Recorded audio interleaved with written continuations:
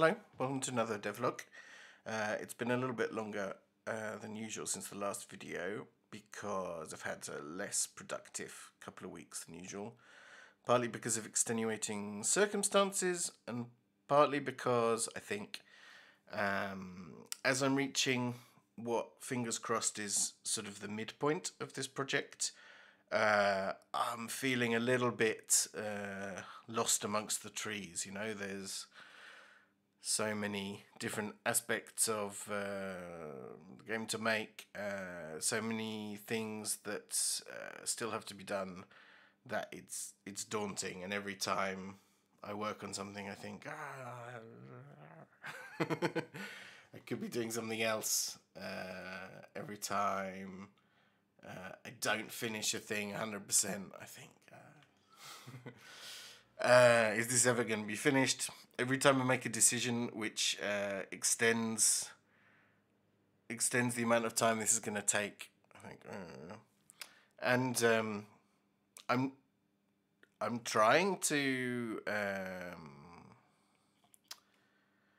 reduce the scope and um, control the amount of time this thing is going to take because it's definitely at this point taking longer than I initially estimated, which I think is just a given of every game project. It's like always like that.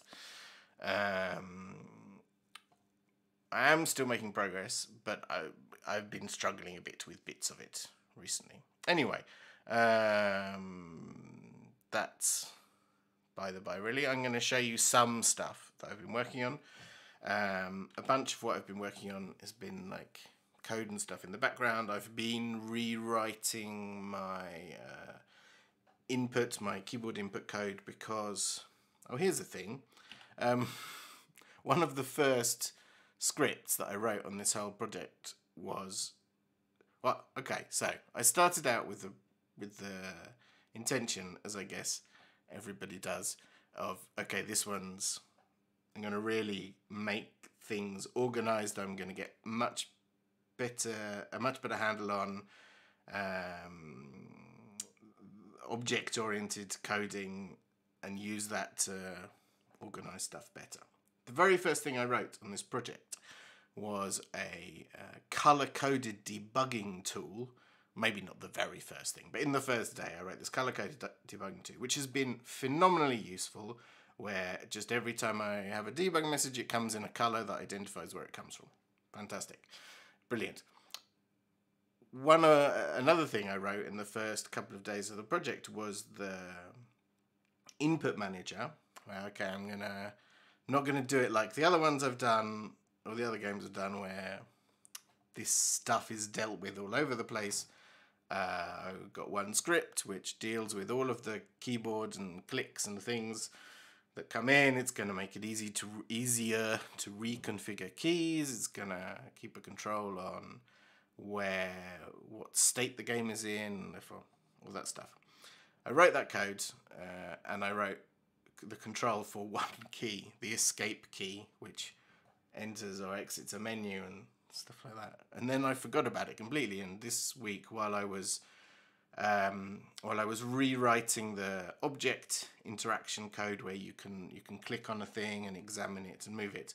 Um, I was like, why why have I got all these like hundred bits of codes which say get button press? I was going to do this in one place. So I'm, I'm halfway through the process of rewriting that, which means that if some things don't work, that's probably why, because I haven't finished rewriting that.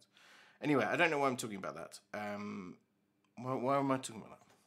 Anyway, so one of the things I've been working on, aside from coding and stuff, which I can't show you, is the downstairs apartment, which currently looks like that. And I, I've showed this before a couple of weeks ago, I guess, maybe even a month ago, and um, it had this really garish wallpaper on, uh, sort of a very faux William Morris type design of leaf patterns and um, I liked it, but uh, I found it cluttered. This is in the video where I talked about the density of detail of, of things.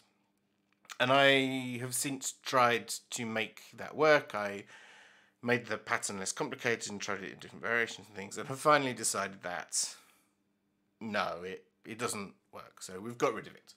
And this is currently how things uh, look. This is currently what we're going for in terms of colour and stuff. And uh, mostly, I think this is much better. Um, it's maybe a little bit too brown, but I, I think we've we've got there. I've got a lot of details which uh, I've been working on, which I'm happy with. I like these light fixed uh, fixtures and wall fixtures which match. And there's another lamp over here. I think, uh, I think these are good. Um, chairs and stuff. Here's a bunch of thimbles. Um, this is a clock which tells the real time, so you can. That's when I'm recording this. Um, I don't really know if that's the correct thing to do. I thought about it and so oh, I wonder how easy it would be to implement a, a clock in the game which tells the real time. It turns out pretty easy, um, but um, maybe that's sort of a. Mm, an illusion breaking thing, right? This clock tells the real world time, not the time in the game world. You could be playing at night and it's sunny outside, and so I don't know. Maybe I'm gonna fix that so that it it actually tells game time. Some I, I set the game at a time of day or something. Anyway, there's a clock. Um, there's a couple of specific things I wanted to show you. I reworked the code which does object interaction. So before uh, I had drawers which you can open and close, and doors which you can open and close, and they were fairly simple scripts. Um, at the beginning, I've changed them a bit so that they allow for more complicated um, interactions. So this is a sewing box, um, which has a whole bunch of different things which can open and close. And the idea is just to have two states open and closed, but those states can have a whole bunch of different rotations and um, translations applied to different objects.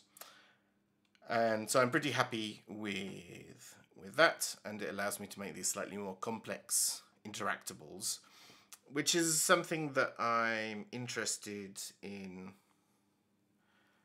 I mean, not necessarily focusing on, but um, it's important, I think, that there is a bunch of stuff to interact with. This is a, a a narrative game where um, you are exploring a little world, and I think that more than just exploration, there have to be things to do in the world. So I'm keen that even just getting a nice little animation when you click on a thing, that's, that's kind of what I'm doing. I haven't finished uh, putting all the stuff in this sewing box, so it's a little sparse for now, um, but that's one thing I've been doing. Um, what else? Oh yes. So the other big thing is here's a bookcase with a bunch of books on, and um, uh, I've been debating in my head how to do this since early in the game. Um, right at the beginning, one of the first things I modelled in the living room upstairs was a few books on a bookcase, and I made a little comment in the text about how there's not many books because well, it fits in with the story that there's not many books. But I knew that I was going to want to put books on bookshelves, and I want you to be able to pick up books and look at them. But uh, how many books am I going to put, and how many of them you can pick up, and that kind of thing is sort of a quandary. And I've got a bit of a uh, a personal like irritation that I find in games where um, they like hmm there are different versions of this, but uh, in some games you have like loads and loads of books that you can pick up and read. You know your your RPGs, your Skyrim, and that kind of thing. There's books everywhere, and you can read them, and you find duplicates, but there's just an enormous quantity of different texts with enormous amount of stuff in them, which I would be willing to bet. Uh, a very large proportion of players never actually read any of this stuff. But there's a certain subset of players who love it, who find all the backstory that's available in these things cool. Um, I do not have time nor the inclination to write a whole bunch of books. It's not going to happen. Um, but I still want books as physical objects that you can look at. Uh, I like books. And uh, with the object interaction system I have, you can click on a book and you can have some sort of um, some sort of um, like text given to you about the book, so you can at least learn about it. But what I'm not going to do is put a realistic number of books on a shelf and line them all up, and you can click on every single one of them. A, I can't make that many books, even if I'm not writing them just as physical objects, I can't make that many. And B, it becomes tedious, I think, for the person who wants to click on and pick up everything to have too many things to click on and pick up. You want stuff to do, but not an enormous number. Um, so I've been thinking about this problem. Another thing I've been thinking about is uh, a game which I absolutely love, and I don't want to be negative about, but I will be a little bit. Is What Remains of Edith Finch, which is a fantastic game. It's a game which is partly ins- inspiration for this one, where you explore a house, your family house, and you discover a story about your family, and it's it's very cool. I don't want to talk too much about it because I'll give some spoilers. Um, but I love this game. Um, in the house uh, that you explore in that game, there are an enormous number of books. I mean, one of the uh, like design uh, ideas that they seem to have gone with is put books everywhere, and they are piled up on the stairs, in corridors. The kitchen is full of books. There's books everywhere, and as a consequence, there's quite a lot of repetition in there. And the first, the thing I found was you you first discover all these books in the kitchen. Oh, cool! Here's a book about Viking cooking, and here's one about uh, sharks, and here's blah blah blah blah.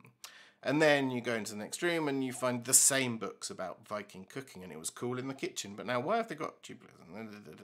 And because that's a game which aims for a fairly realistic aesthetic, um, I found it just weird to have those same things repeated. So I want to avoid that like repetition of, of stuff. There, I could talk for ages for that, and I don't want to. Um, I don't have a timer on screen, and this video is already going on longer. So I should just show you what I'm doing. So this is what I came up with as a solution. Here is a bunch of books, but they are treated by the game as one single object. And if you click on it, it'll show you a book, which you can investigate, you can rotate, and that's a book. And if you click on it again, it'll show you a different one. And essentially, it has a um, uh, a bucket full of you know, um, books that I've made.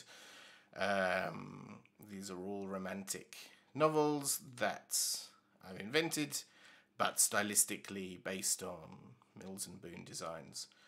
And the drawings I've made, but I have traced to some extent, to a large extent, from real covers of real romantic novels. And that's it. And there will be repetition. Like you're gonna eventually in fact, maybe not even eventually, maybe quite soon you're gonna see books come up again.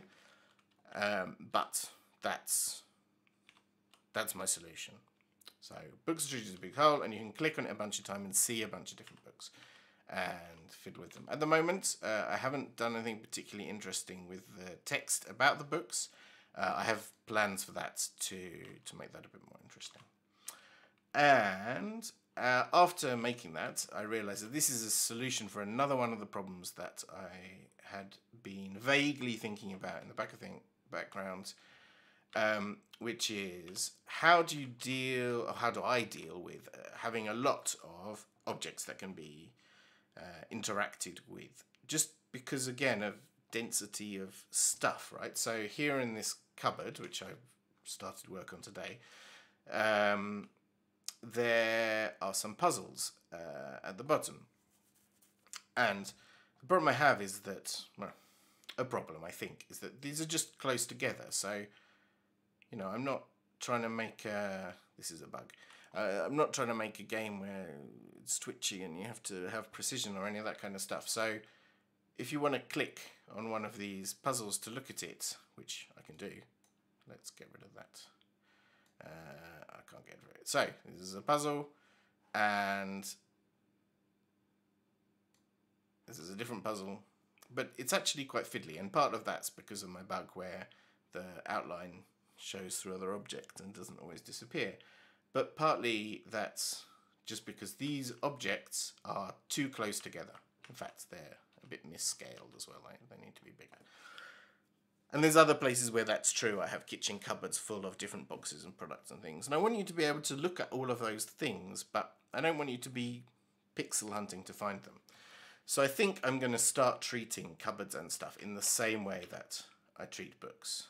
That uh, here I have a stack or that you can see of uh, puzzles, puzzles and games. You click on one and it shows you a random one out of the out of the list. Um, so yeah, I've probably been talking too long already. So that's just a couple of bits I've been working on. Um, things are progressing. I guess I started out this video fairly dourly, but um, I think things are going well. It's just uh, having a little bit of a mid-project slump. And um, yeah, I think that's all I wanted to cover. Um, toodaloo. Thanks for watching.